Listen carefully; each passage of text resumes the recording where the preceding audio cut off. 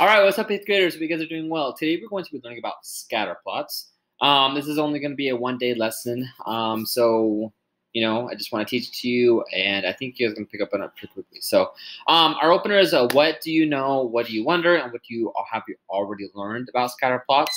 Um, you don't have to do that today. My food's ready.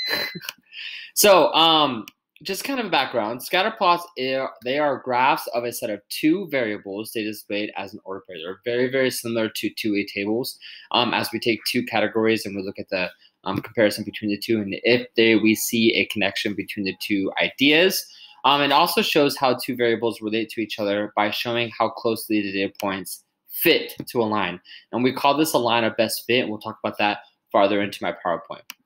And so anyways, the following table represents um, the number of tornadoes occurrences, and we're going to make a scatter plot based off the information we have received, okay?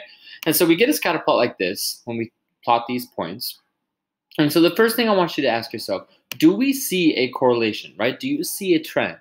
And the answer is yes, right? As the years get farther on from 19, what, 50 to 1995, we can see that the farther years go, the more tornadoes that have occurred um, throughout those years which right there we know that there is a trend okay? And we also know that we have the two categories of the year that we're looking at and the number of tornadoes we're looking at. The year is our x-axis and the number of tornadoes is our y-axis okay? And so yes there is in fact a trend with this these two categories and so scatterplots provide a convenient way to determine whether a correlation exists between two variables and i just used that word on that last slide. And so in reality, correlation is telling us there, if there's a connection between the two variables. And so we have a positive correlation, which occurs when both variables increase. So as your x's increases, your y's are also increases, just like that last scatter plot we were looking at. We also have a negative correlation occurs when one variable increases and the other variable decreases. So as your x increases, your y would be decreasing, which means you're going to get a negative correlation that goes down to the bottom right-hand side of your scatter plot. And we also could have a possibility of getting a no or little to no correlation with your scatter plot, which means your points are just kind of scattered everywhere and there's no connection between the two categories. And so let's kind of look at some examples. This first one here is a positive correlation as your x increases, your y increases, and it's going to the top left-hand side, so we know it's positive. This next one is a negative correlation. As your x decrease or increases, your y decreases, which means we're going to get that negative correlation going down to the bottom right-hand side of your scatter plot. And then this one here is, of course, as our points are just kind of scattered everywhere, we have a little to no correlated scatter plot, which means there's no connection between your two categories. There's no connection between your x or your y. And so let's look here. We have three categories, age and height, age and eye color, and age and time needed to run a certain distance. So let's kind of look at this first one. Do we have a connection to it?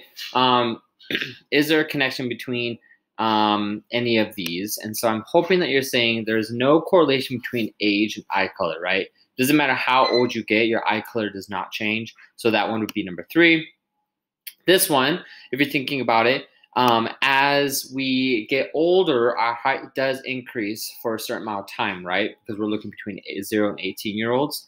So as we get older, our height does get bigger. And so that will be number one because it's a positive increase. And then this last one here, right? As your age increases, the time will decrease. As you get older, the longer it takes you to run a distance. So that's going to be a negative correlation. And that's that one. And then I'm hoping you can also figure out the variables of your x and y axis as well. So if you if the data points are close to the line of best fit, it is said to have a strong correlation. So this one right here, it is a positive correlation, but we would call it a weak correlation because the points are farther apart from that line of best fit. We still have a positive correlation, but it's a weak positive. This one here, our points are going to be closer to that line, so we have a strong positive. This one here is a pretty weak, almost to a no correlated plot or scatter plot, but we have a weak negative scatter plot here. And then this one here, we have a weak or a strong negative correlation on a scatter plot. All right, that is all I have for you today. You're going to be able to go ahead and start working on the activity that I have attached below. Um, if you have any questions, let me know. But that is all I have for you today. Scatter plots. Hope you understand it. If you have any questions, please let me know. Have a great day, you guys.